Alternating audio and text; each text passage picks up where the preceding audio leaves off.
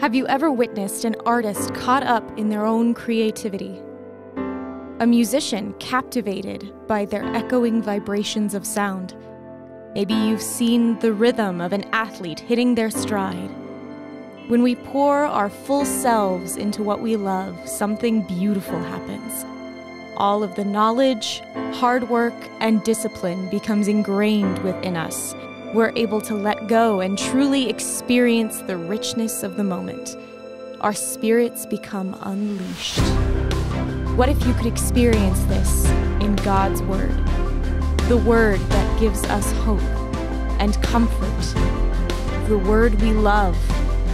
Let's pour our full selves into the Bible in this coming year and let go of any preconceived notions and assumptions. Let's get into the rhythm of God's Word and experience the richness of Scripture.